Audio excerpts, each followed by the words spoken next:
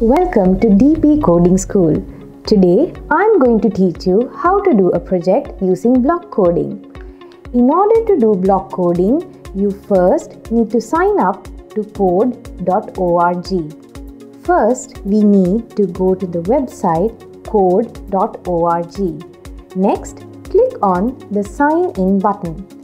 If you already have an account, you can type your username here and then the password. Next, you can click on the yellow color sign in button.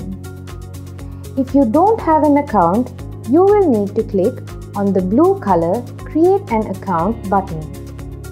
In the email address field, type in the email address and in the password field, enter a password that you can remember.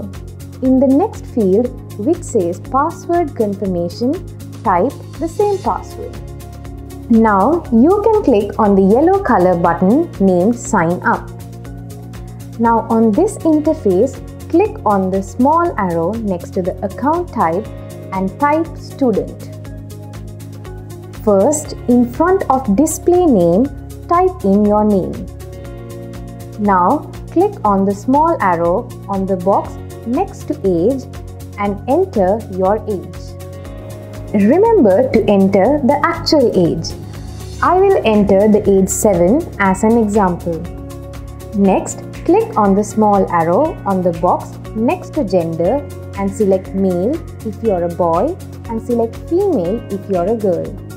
Next, click on the yellow color button named Go to my account. Okay, now you have logged in to code.org.